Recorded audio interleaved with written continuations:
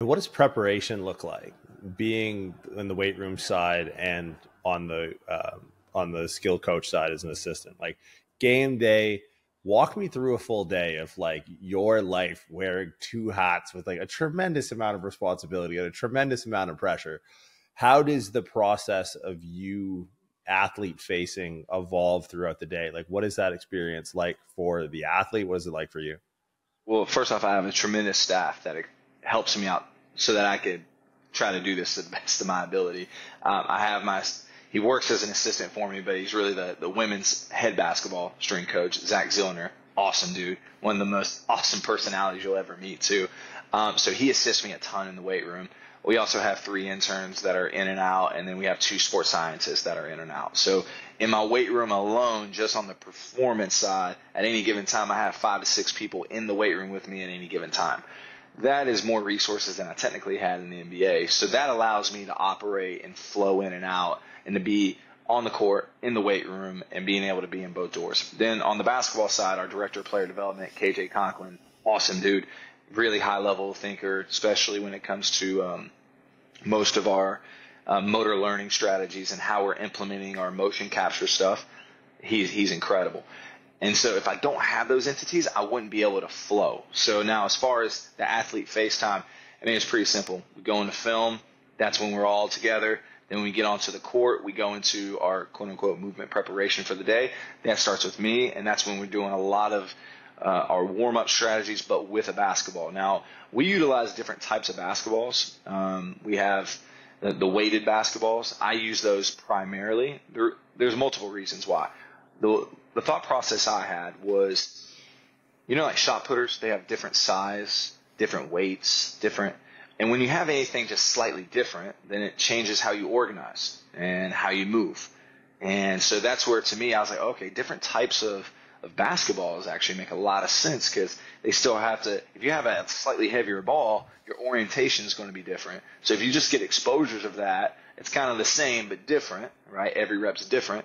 So it allows you to express yourself in different ways. So we do most of our basketball prep warm ups with me, and we go through a ton of in play stuff where it's we start off with isometrics, then we go into more stationary dynamic, then we go into locomotion, then we go into some pretty dynamic and some pretty wild looking stuff. I mean, we're taking the basketball, punching it in multiple directions while sprinting straight ahead, uh, taking our eyes off target, running, hoping that we're anticipating where we are in space. We do a lot of things that are neck up and neck down, and then we just keep it uh, keep it consistently different we just want to expose them to different things all year round because it's going to allow them to you know just have their tissues hit different things at different speeds and hopefully develop a robustness other than just doing the same thing over and over then they go into the technical aspect and this is where we're transitioning to KJ, who's taking our guys to their individuals. Then the tactical side. I don't touch the tactical side with a 10 foot pole. Like, no, when it comes to ball screen coverages and calling out, I, mm, no.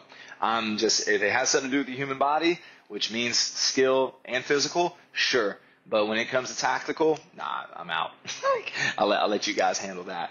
Uh, then we go through our practice. Then we go into our weight room sessions. Um, on a typical game day, we'll have our uh, low minute guys hoop in the morning. So we'll go weights, hoop, and then pregame, our high minute guys go through their preparation, most of their motor learning, high speed, high velocity, high variability. So we're continuously getting better as an athlete as the season goes. Then we go into our warm ups, game, and then post game, our high minute guys are hitting their traditional lift. Yeah. Has that been a tough sell? Like the idea that I would assume up until this point, they're not used to training on game days. How has that been? And obviously, you know uh, just instantiating that into the culture what is the you know do you have any um, do you have any a highlight reel of the first time that a kid walked off the court? You're like, all right, in the weight room, and say, what? Like, what is that? Right. What has that process been like in onboarding that as a new way of training for a lot of these guys? Yeah, when it starts, I never surprise anybody. So like, I make sure that's like weeks in advance before our first game. For I was like, hey, just so you know, this is what we could do. And I give them two options. Option A, hey, you're going to come in in the morning. We'll knock out our lift in the morning. No problem. You don't have to get up earlier. You might have a shorter breakfast. Might not be as fun, but hey, we'll knock out our lift in the morning so you have plenty of time to recover for the game.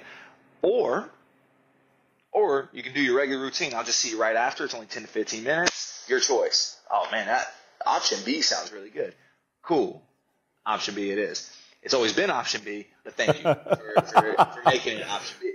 And so that's how I, I generally go through this because the reality is if we're trying to prepare these athletes for the next level, that is the demands of professional basketball. You play three and a half times a week. Your higher quote unquote stressors from a weightlifting standpoint are going to have to be done around those game days. Can't be between, or else you're just never really going to recover. Downward spiral. We all know what that looks like. And the cool part is coming from the Suns and the success we had, and you know the viral videos of us training post game. It's like it wasn't a hard sell at all. It was like, nah, that's what that's what the NBA guys do. It's like, yeah, yeah. I mean, it is now, but there might have been a time where they were doing it, but not as consistent as us. And now it's now it's a, it's heavily um, mediated now. I mean, you see that the Timberwolves were doing a big post game lift after they uh, swept the Suns, and it's now becoming like a part of the norm as far as lifting post games in the NBA. So the college guys, if that's the goal, hey man, you might as well get used to this now do you see that being the way it goes? Do you see that trends that trickle down from pro into NCAA? Is there anything that is there any are there anything that uh, NCAA teams that are are doing that is groundbreaking and and you know building up into the into the league, or it is is the league really the point of validation for a lot of best practices in strength conditioning?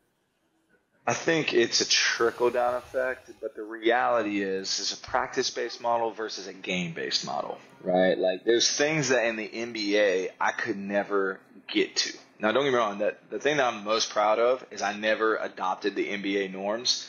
I did it my way, and I was very proud of that. Like, I spent four years in the league.